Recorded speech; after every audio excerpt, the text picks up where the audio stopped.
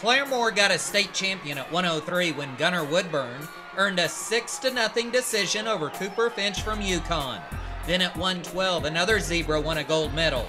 Calib Freeman became a three time state champion when he knocked off Union's Josh Walker, who was also trying to become a three time state champ. At 125, Choctaw's Kyle Garcia picked up his third state title when the junior outlasted Union's Brian Crutchmer 4 3. Garcia ends his junior season at 33 and 2, and next year will try to become a four-time state champion.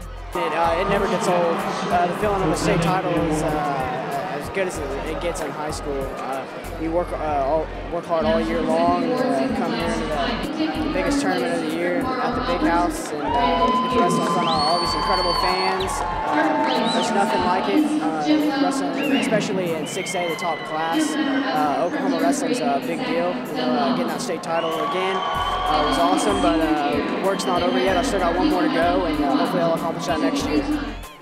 Broken Arrow Jr. Chase Ferman got a major decision win at 135 when the Tiger took out Sapulpa's Jordan Bolin 14 3.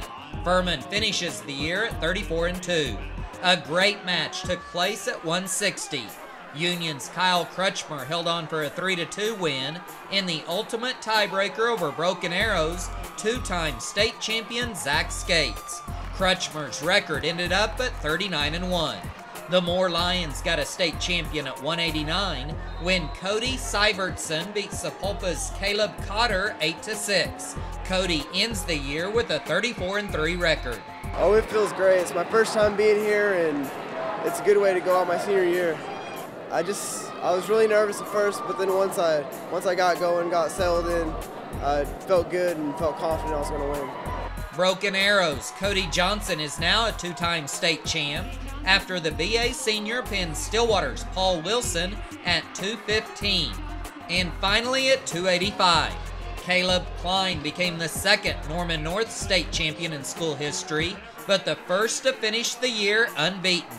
Cline ran his record to 33 0 with the hard earned 3 2 ultimate tiebreaker win over Travis Morgan from Stillwater. Yeah, it feels amazing. It's all uh, completes my high school career as an athlete as a person. I love it.